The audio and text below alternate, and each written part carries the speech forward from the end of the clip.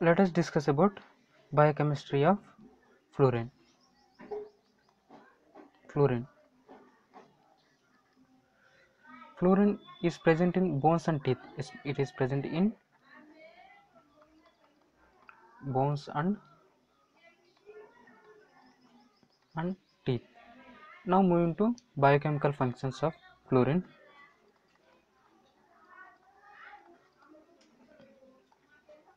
biochemical functions. This fluorine it forms a fluoroapatite. It forms a fluoroapatite on teeth. Fluoro it forms on that means this fluoroapatite forms as a layer on teeth okay on the teeth. This layer which is present on the teeth will be acid resistant will be acid resistant that means it protects teeth from ac- acidic action in the oral cavity. And moreover this fluoroapatite it inhibits certain enzymes of bacteria. Inhibits bacterial enzymes. Inhibit bacterial enzymes. So as as they are as the bacterial enzymes are inhibited so there will be less acid production in the oral cavity that will protect teeth. So it, this fluoroapatite is mainly protecting teeth by forming a layer on the teeth and also inhibiting certain bacterial enzymes. Okay? And other en- uh, function is this fluorine it, it is necessary for proper development of bones. It is necessary for proper development of proper development of bones. It is necessary for proper develop proper development of bones. And it inhibits certain enzymes also. Uh, fluorine it inhibits certain enzymes. The enzymes include enolase. This enzyme is inhibited by fluorine. This enzyme is involved in glycolysis. Glycolysis and one more uh, the substance of the form of fluorine that is that inhibits this enolase is sodium fluoride. Sodium fluoride. That means sodium fluoride will inhibit enolase which is a enzyme in glycolysis. Next fluoroapatite uh, sorry fluoroacetate.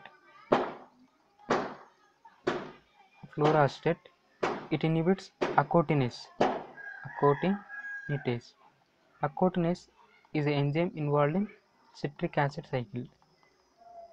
Citric acid cycle. Sodium nitrate sorry sodium fluoride it inhibits glycolysis whereas fluoroacetate it inhibits acotinase which is involved in citric acid cycle. Then move into the source of fluorine. The source of fluorine are mainly the source of fluorine is mainly water. Source is mainly drinking water. Drinking water. Drinking water. Then move to RDA RDA means uh, recommended dietary allowances. Is, is less than ppm you remember you have to remember here is see if if it is less than 2 ppm there will be advantages due to fluorine. If the cons if the dietary RDA increases that means if take more amount of fluorine in the diet then we'll we'll have to face certain uh, disadvantages. Okay so we will we have we will have advantages if the intake is less than 2 ppm. Let us see the diseased state what happen in disease states? One is dental caries formation of dental caries. This is seen especially when the intake is less than 0.5 ppm and seen especially in children.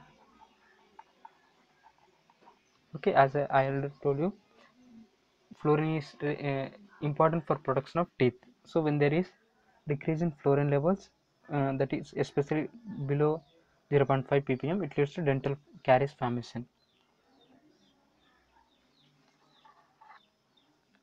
Then moving to disease states. This is uh, this is seen when the fluorine intake is less than 0.5 ppm. Let us see what happens when we take fluorine greater than ppm that means when we take excess uh, fluorine when we take extra fluorine it is called fluorosis. Fluorosis especially when the intake is greater than 2 ppm it is called fluorosis. And in fluorosis what we see is uh, mottling of teeth is seen. Mottling of teeth. Discoloration of teeth discoloration of teeth. And there will be weak teeth formation teeth will be weak and rough brown yellow or brown patches on the surface is seen. The teeth will be weak and on the surface of teeth we will see some rough brown or yellow patches. Brown or yellow patches yellow patches on teeth. Okay this is especially seen when the intake is greater than 5 ppm.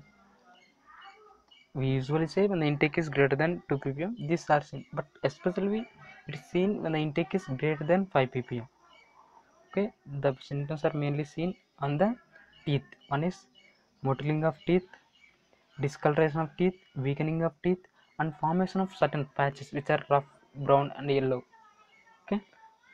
This this is when you take uh, greater than 2 ppm especially above 5 ppm.